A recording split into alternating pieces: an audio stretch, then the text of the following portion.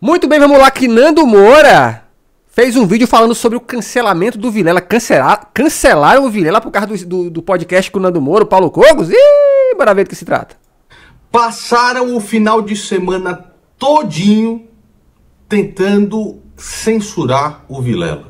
Censura? Tentando destruir a vida do Vilela. Por que será? Podcast Inteligência Limitada. Os caras foram tão cínicos que tentaram Que caras, Nando Moura? tentaram associar o Vilela ao nazismo para que destruísse de uma vez a reputação dele em todos os lugares. Ficaram, a, o final de semana todo do Twitter foi isso daí. Por quê? Ah, ah, aonde? No Twitter, né? O site da saúde mental. Você vai me dizer? Porque eles ficaram muito malgoadinhos, muito ofendidinhos com o debate que foi feito com o Cogos. É, meu irmão, cara. Que sofrimentinho! É assim, na frente eles falam assim, é, ganhou, ganhou, ganhou, mas no fundo eles sabem que foram completamente humilhados, completamente. Tá, tá, desculpa, peraí. Cadê? Eu tenho que deixar, eu vou deixar um atalho pra isso aqui, ó. Eu tenho que deixar um atalho pra isso aqui. Cadê?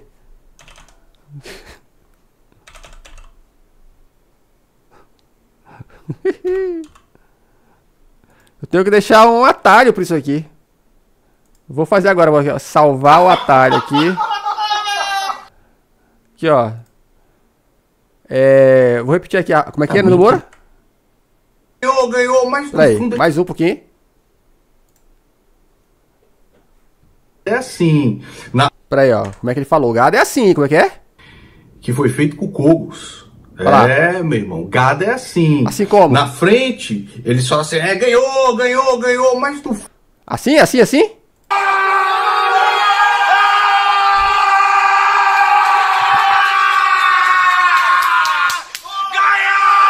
Ganhamos? Ganhou, tô eleito? Ó, como é que era, Luan? É assim. Na frente, eles falam assim, é, ganhou, ganhou, ganhou, mas no fundo eles sabem que foram completamente humilhados, completamente tratorados. Aí como não tem jeito, eles tentam censurar alguém. E eles se dizem os defensores da liberdade de expressão. The Life Snakes, né? A vida cobra. Somos defensores da liberdade de expressão, somos os defensores da liberdade das pessoas. Mentira. A única dor do bolsonarismo é não serem eles a levar as pessoas Mentira. paredão. De bolsonarista e lulista não tem diferença nenhuma. Entre os modos operantes de bolsonaristas e o Xandão não tem diferença nenhuma. Tem sim, ó, ó. O que, que o Lulista tá fazendo agora? Fazendo L.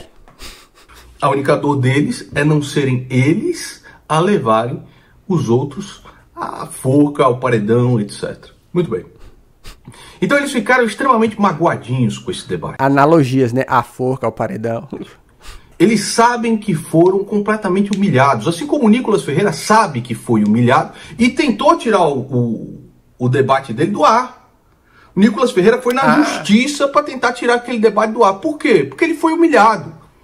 Fora da, da máscara bolsonarista, ele sabe, ele usou um áudio de um criminoso no meio do debate, ele tirou um áudio do Moro totalmente de contexto no meio do debate, ele disse que o Valdemar da Costa Neto, que é o cara que hoje Atenção, chat.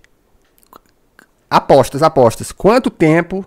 A gente tá com 1 minuto e 58 de vídeo. Quanto tempo até o Nando Moura falar da CPI da Lava Toga? Quanto tempo? Quanto tempo? Ele presta vassalagem no partido, ele chamou ele de É lógico que uma pessoa abjeta igual o Valdemar Mais 30 segundos, bora ver. Costa Neto, mas, por exemplo, é lógico que uma pessoa abjeta igual o Valdemar Costa Neto. Então eu tomei a decisão de me filiar é, ao partido do PL. ao partido do PL. Por que será? Acabou, porra! Então ele sabe de tudo isso. A vergonha Ô, cara, a, a Regina, a Regina Duarte, né? Eu tava vendo uma, umas tweetadas da galera falando que ela voltou a aparecer, né? Dizendo que foi esquecida pelos atores. A galera, galera falando que na época que ela saiu da Globo, o salário dela era 200k, mano. E ela saiu pra ser ministra do Bolsonaro. Cara, que doideira, mano. Que loucura. foi tão grande que o cara precisou mover a máquina estatal para tentar tirar esse debate do ar e perder vergonhosamente na justiça. Isso o gato não fala, né? Porque a máscara deles é sempre a máscara de vitória. Ganhou, humilhou, uhul, uhul. Eles sabem que foram humilhados. Este debate do Cogos, né? Primeiro, Marcelo Brigadeiro, irmão, humilha tanto esse camarada, mas tanto esse camarada, né? Ah, chegado um momento que fala assim: fala aí do Bob Jeff, que é o líder do partido aí que vocês lembram, eu me reservo o direito de falar do Bob Jeff. Fala aí do Queiroz, o Queiroz estava ou não preso, né? Estava ou não sendo procurado pela polícia. Ele trava completamente. Rapaz, o Queiroz, bicho, né? V- vamos lembrar, né, bicho? O Queiroz. Como é que pode esse maluco tá aí ainda, né? O Queiroz não tava lá. Tava ou não tava? Tava. Ele era, era ou não era procurado pela polícia?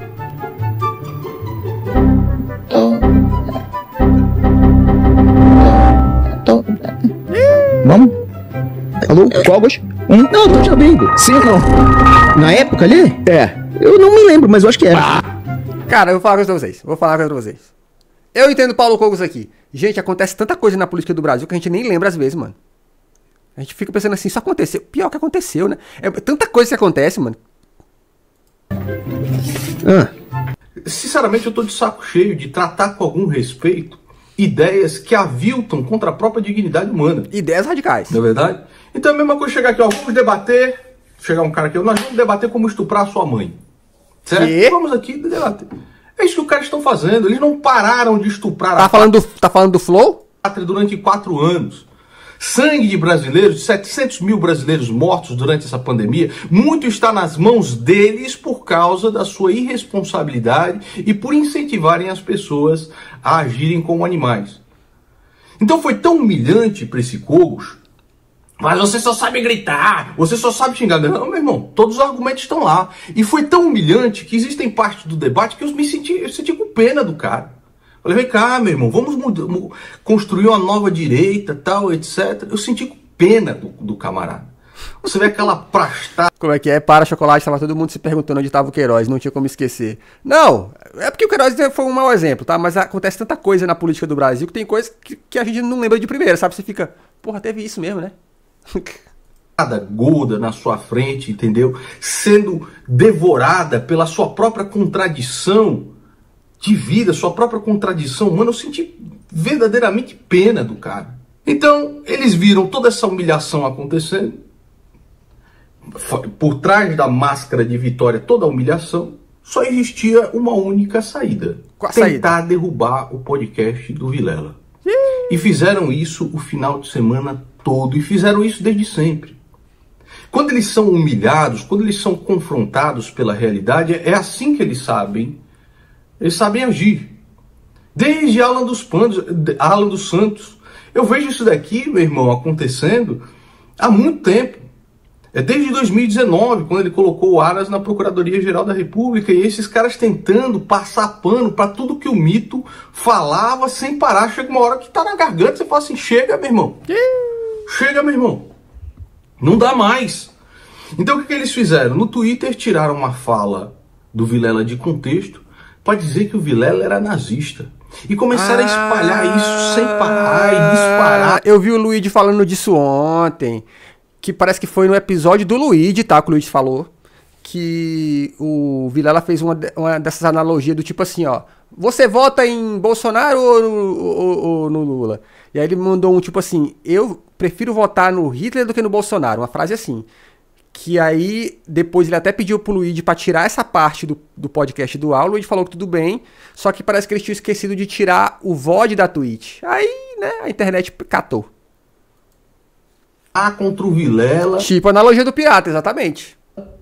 no Twitter até. Pra quem não tá entendendo o que a gente tá falando, a analogia do pirata, assista o, o react que a gente fez ontem desse debate. Lá que esse maluco mete essa analogia do pirata aí.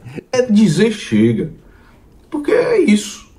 Eles se sentem realmente por trás da máscara de vitória, eles se sentem destruídos. Agora, eles sabem que quem chamou para esta bosta de podcast foi o Cobos. O Cobos que me chamou. Ih, foi? Vem aqui então que nós resolvemos até fisicamente. Ó, por que, que você foge do debate comigo, Nando? Ah, teve isso? Teve telefone também? Essa parte a gente não viu. Vamos, vamos pedir pro... Agora você vem ligar? Por que, que você não vem aqui? Vem aqui! Tá fugindo por quê? Não, então vou aí então, pô. Vem aqui, Vou então. embora. Tá. E agora? Vou aí agora. Tá, o Nando tá vindo. E resolvemos isso fisicamente, você Não, não, fisicamente não. é capitalismo? Ô, apertei o botão errado, era isso aqui, ó. Era o. Ah, agora eu entendi. Então teve Agora eu isso? saquei. Ah. Agora todas as peças se encaixaram. Não foi o Nando que ligou, foi o Vilela? Eu não sei. Eu pensei que, eu via, que ele tinha falado ontem, no, no- nesse corte que a gente viu, que ele tava tomando banho assistindo, não foi? Que a gente até ficou brincando assim, quem é que vê podcast vendo. É, quem é que vê live enquanto toma banho? Todo mundo. Muita gente aqui no chat falou que via. É, então teve isso ainda, né? Não, cara, tá louco? Cara, eu vou morder tua teta, assim. Eu, como já falei pra você, eu estava lá me ensaboando, tomando banho, Olha aí, ó. puto, ouvindo tudo aquilo lá, e eu liguei no meio. Falo, o Vilela é um grande gênio, o Vilela armou tudo que armou o caralho, meu irmão. O Vilela tava era com medo. Se vocês pegarem Tava, o tava. podcast onde o Vilela atende o telefone, alô, Não, ele tava, ele tava. Ele tava com medo de ser desmonetizado, porque os caras falando besteira. o que foi, cara? O que foi, cara? Não sei o que lá. O bicho tava era com medo. Quando eu cheguei lá, ele ficou com mais medo ainda. Com certeza, pô. Então tá Por quê? Porque ele pensou, esses malucos vão brigar, o brigadeiro é um lutador, né? Ele te- tem as manhas de lutar. Parece que o Nando faz jiu-jitsu também, não é uma coisa assim? Ele pensou, vai dar uma treta aqui ao vivo, vai, vai derrubar meu canal, porra. Ele pensou, vou de Monark, não quero não. Tava lá, eles mandando, você vai vir mesmo? Você vai mesmo? Não, vou, daqui a 16 minutos eu tô aí. Porque ele falou, vem aqui, por que você foge? Vem aqui. Agora, se eu não tivesse ido, se eu não tivesse ido, você pode ter certeza, no dia seguinte estariam todos esses gados bolsonaristas na internet dizendo, aí, ó, ó o covardão, ó o covardão, não foi, tal, não sei das quantas. Se eu tivesse sido condescendente, se eu tivesse sido mais de boa, Nando, Nando, se você não tivesse ido ou tivesse ido, não ia mudar nada, porque essa galera aí é igual turma de escola, né? Que alguém fala, começa aquela discussão, alguém fala assim, Ih, eu não deixava, eu não deixava. né? Tá aí, olha só, falando pianinho, né? Pelo Atendeu o celular no banho. mão. Quando chega lá, olha só, só no pianinho e tal, etc. Como eu cheguei com o pé na porta, aí só sabe xingar, agora levanta o tom, né? Vocês são os filha da puta. Vocês, gado de merda, vocês são um bando de filho da puta. Ui, ui, ui. Tá? Que Se é eu me uma- arrependo de alguma coisa desse debate, é ter tido alguns momentos onde tratei aquela prastada humana que defende aquilo que avilta contra o próprio nome da santidade do Senhor Jesus Cristo, ele mentindo, cara, com texto na mão. Estou aqui com a cruz na mão, não posso. Meteu pra religião. Então, assim, se eu me arrependo de alguma coisa deste debate, entre aspas, porque não se debate ideias com quem não as tem, e não se re- respeita quem é cúmplice de um estelionato, né, de um roubo que foi Jair Bolsonaro. Se tem uma parte que me arrependo, é a parte onde eu fui condescendente, onde eu tentei falar assim, meu irmão, pensa um pouco, tal, etc. Mas o tom foi acertado. É chute na. É, é chegando na voadora mesmo. Chega-se na voadora mesmo, tá bom? Eles fizeram isso desde sempre. Desde sempre. Quem? Quando eu fui a primeira vez ao Flow, Ó, aproveita que você tá vendo esse corte, deixa eu te explicar uma parada, tá? Se inscreve nesse canal também, faz que o Nando Moura tá fazendo aqui, ó, pedindo pra se inscrever, se inscreve aqui também. devem se recordar que o Flow ele fazia 15 mil visualizações, 20 mil quando estourava um vídeo, né? E era bem naquele momento, foi acredito que no começo de 2020, né? Eu tava lá careca, parecendo uma galinha depenada.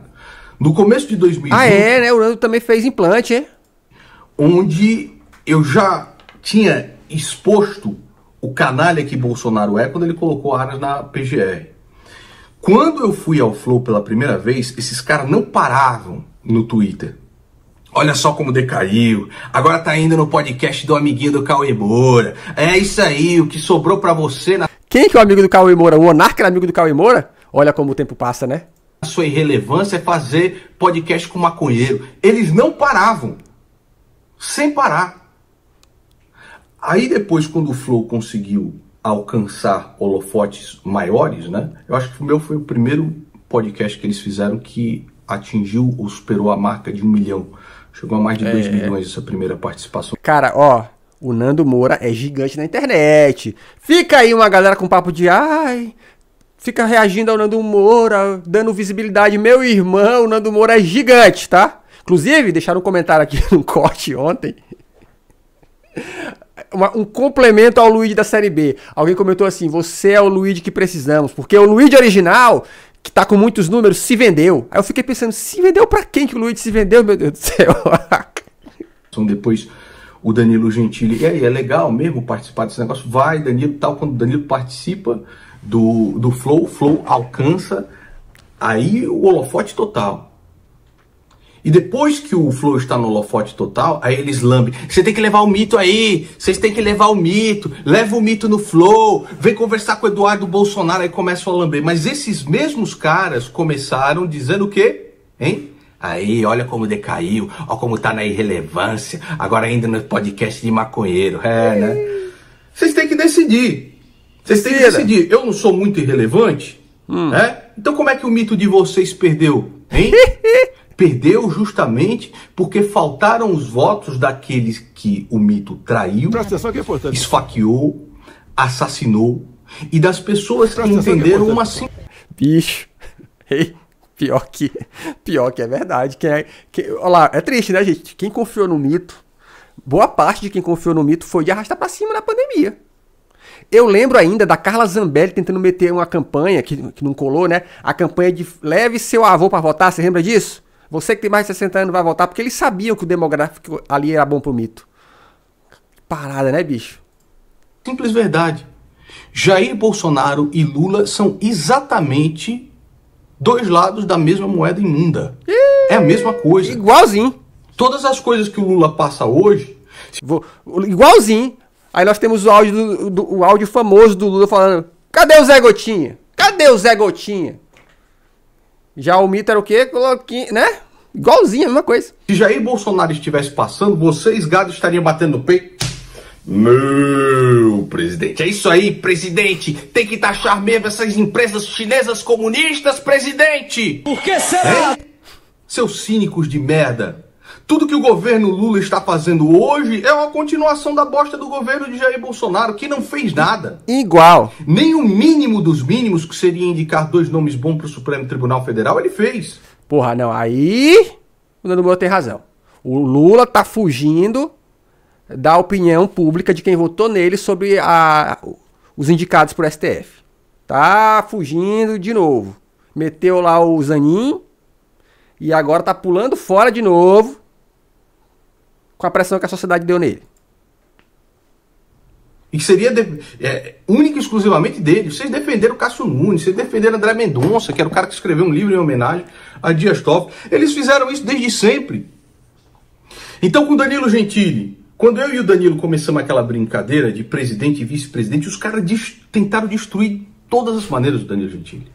O filme que eles Ah. elogiavam antigamente, tinha até foto do Marcos Feliciano tirando eh, foto com cartaz do filme, né? Indicando. Danilo, filme incrível, maravilhoso. Tentaram usar este filme para tentar prender o Danilo Gentili. Quando o Danilo se revoltou com a votação que eles fizeram, com Flávio Bolsonaro, com Eduardo Bolsonaro votando pelo fundão eleitoral de bilhões, Por que será? Danilo fez lá uma postagem e tentaram prender o Danilo Gentili. Por que será? A minha mesma coisa. Quando eu comecei em 2019 a expor a mentira, que é a farsa que foi o governo Bolsonaro e é até hoje, começou o Alan do Santos. Eu tô fudendo Nando Moura! Eu estou fudendo Nando Moura! Aí o que, que você via? Através dos grupos né, de apoio do mito, eram campanhas para vir aqui no canal tentar não só censurar, mas denunciar o canal por discurso de ódio. Esses caras se dizem lutadores pela li- da liberdade de expressão. Mas isso aí não é novidade. A direita adora cagar a regra de liberdade de expressão, mas é só você bater neles, uh, o processinho vem rápido. Eles vinham aqui e denunciavam o canal para colocar o canal em Shadow Bem, que começou em 2019 e não saiu até hoje. Então esses caras, eles se dizem é, defensores de algum tipo de liberdade. Mentira! A única dor deles é não serem eles a mandar os outros pro paredão.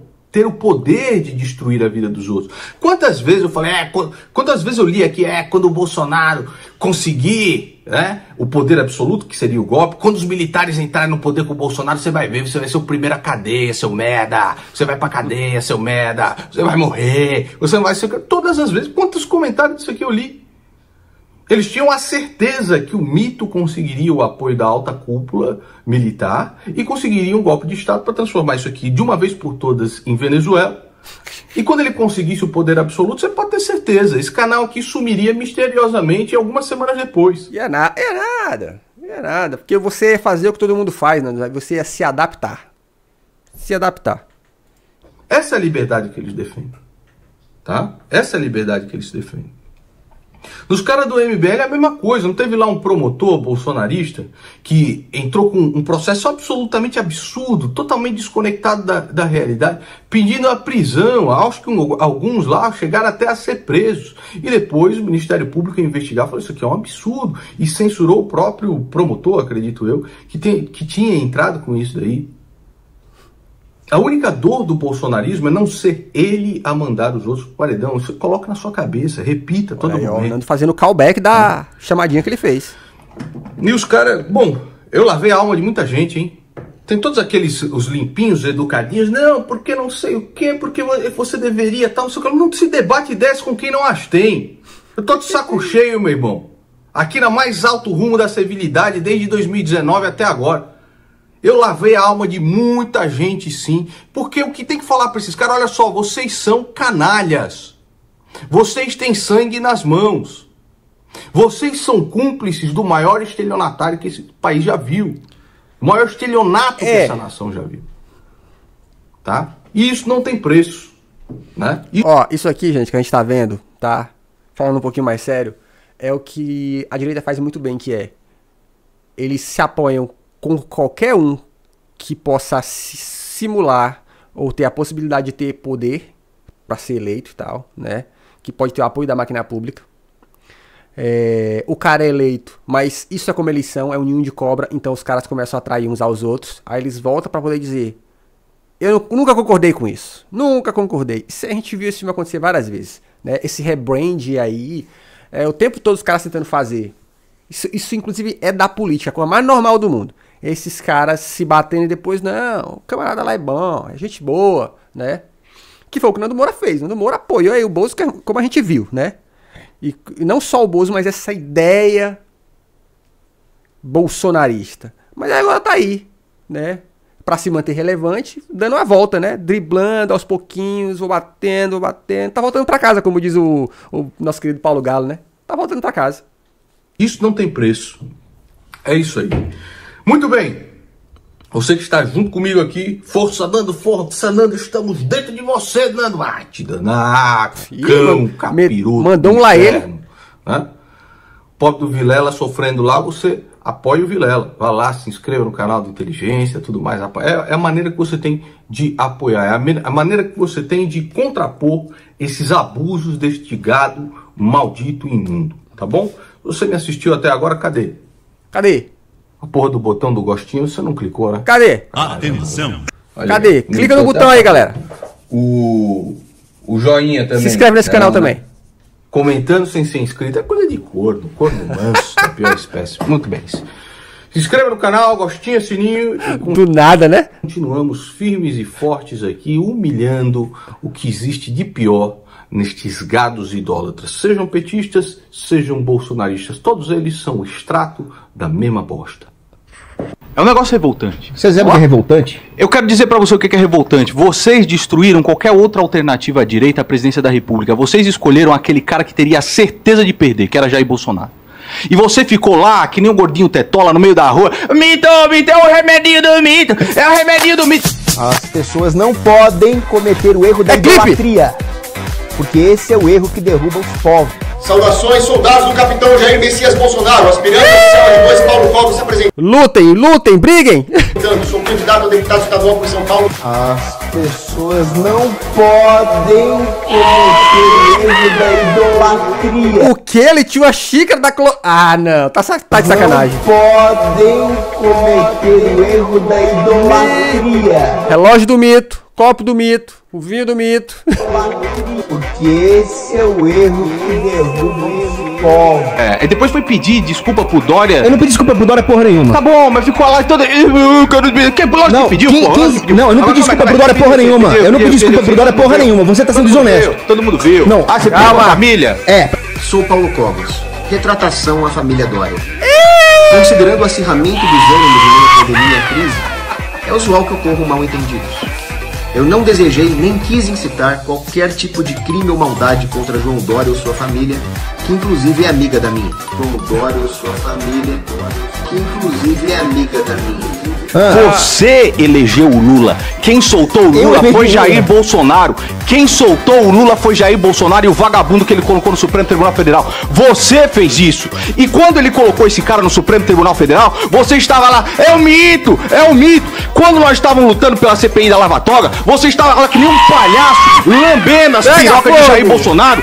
No dia do juízo, o seu juízo particular, quando você morrer, Jesus vai falar pra você assim, escuta, por que você não fez campanha pro Bolsonaro? Quem não teve a minuta do golpe? Não Tá de sacanagem. Tá de sacanagem. A vitória do trabalhador. Tu tá de... Arriba, arriba, Rorjito Virusu. Jorgito, muito obrigado pelo sub. Tu tá de sacanagem. Que o Jesus. Atenção, Jesus quando for dividir a esquerda e a direita, tá lá no Apocalipse. Ele vai chegar por da direita ou por da esquerda, né? E vai falar: Por que, vocês não votaram no mito quando vocês podiam votar no mito? Que- Existe isso que você tá falando? Que golpe, Como que não maluco? existe, bicho? Tá onde? No Marte, pô. Infantaria, carga!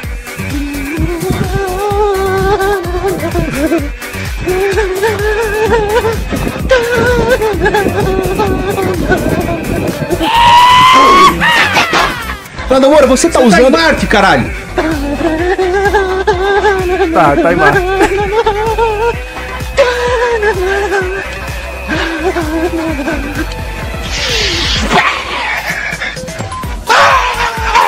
A que ponto chegarão? Primeiro, a imprensa me acusa de estar junto de Valdemar da Costa Neto. Hoje, o que existe de pior no governo tá junto com o seu Jair Bolsonaro, cara.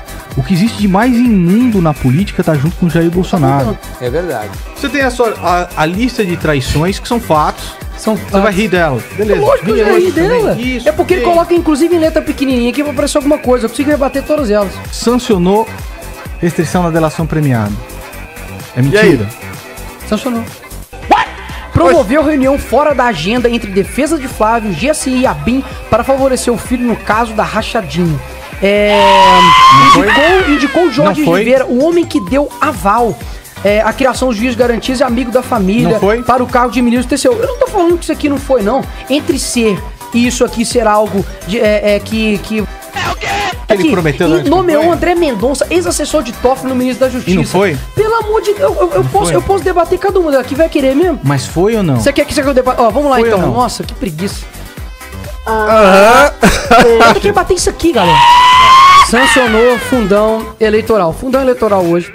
É, Tá dando um Google? Tá dando um Google? lei deve ser cumprido. Você você sabe disso. Ele podia sancionar Bolsonaro não tem 800 competência para 2 vetar bilhões. integralmente. Sancionou o juiz de garantias. Emenda do Freixo. Meu Foi emenda do será Freixo. que foi emenda do Freixo mesmo? É, Qual será a verdade foi. sobre isso que o, que o Nando Lodge fala? Bolsonaro fez um vídeo dizendo que, na verdade, a emenda era de um grupo de trabalho. Pesquisem sobre isso. De uma comissão da Câmara, em que todos os membros dessa comissão foram signatários da emenda. Ou seja,